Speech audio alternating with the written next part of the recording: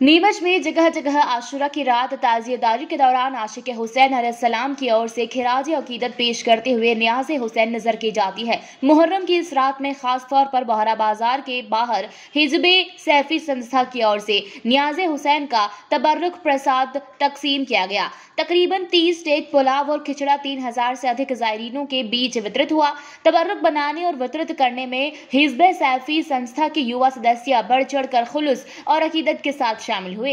एकता और भाईचारे का परिचय देते हुए ठाकुर टी स्टॉल द्वारा चाय वितरित की गई। लोगों का यकीन है कि नियाज हुसैन चखने से शिफा मिलती है, बरकत होती है। इस अवसर पर सभी ने मुल्क की तरक्की, अमन चैन की दुआएँ की, लब्बैक या हुसैन और हिंदुस्तान जिंदाबाद के नारे लगाए। नियाज हुसैन का मकसद तो ये है कि सबसे पहले नियाज हुसैन का मकसद तो ये है कि सबसे पहले जो भी यहाँ ज़ायरीन आते हैं, बाहर से भी आते हैं, और नौवीं तारीख नौ और दसवीं रात होती है।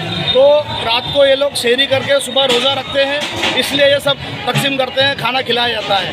दुआ तो ये अमन अमान देश के लिए सबसे ज़्यादा, खुद के लिए मांगी जाती है, लेकिन सबसे ज़्यादा देश अपना खुशहाल रहे, आपस में भाईचारा बना रहे, एक दूसरे से लड़े ना, किसी के भी बहकावे में आए ना, ये मैसेज हम लोगों को हम ये देना चाहते हैं आपके माध्यम से।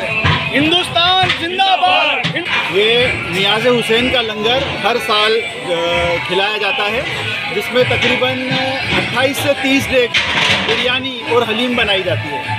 और सभी समुदाय के लोग यहाँ पर आते हैं। नियाज हुसैन का लंगर सबको दिया जाता है और सब बड़े चाव से इसका लुत्फ उठाते हैं। और इसमें सभी समाज के लोग भी भाग लेते हैं, इसमें कंट्रीब्यूट करते हैं। जैसे हमारे ठाकुर टी स्टॉल वाले, वो उनका भी इसमें योगदान रहता है और हिजबे सेफी जो कम्युनिटी संगठन है भोरा समाज का, उसके तत्वाधान में ये पूरा कार्यक्रम आयोजित किया जाता है। नीमच से अब्दुल अली रानी की रिपोर्ट।